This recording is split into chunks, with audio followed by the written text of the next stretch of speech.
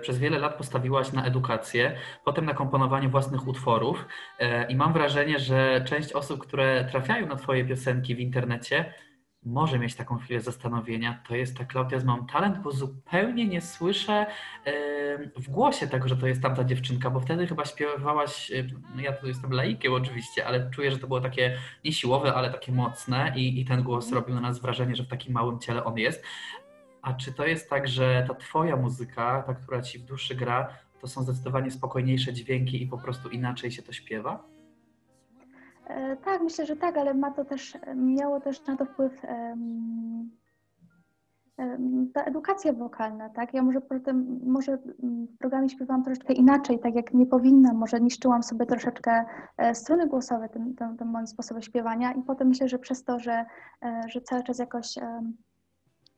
kształciłam ten swój głos, on się rzeczywiście troszeczkę zmienił, a pod względem muzycznym myślę, że, że jeżeli ktoś jest zawiedziony, że, że nie poszłam tą drogą bardziej komercyjną, to, to, to muszę wyjaśnić, że już po prostu inaczej nie potrafię, bo rzeczywiście interesują mnie już inne rzeczy i, e, i czym trudniejsze, czym bardziej skomplikowane, to bardziej przyciągają moją uwagę.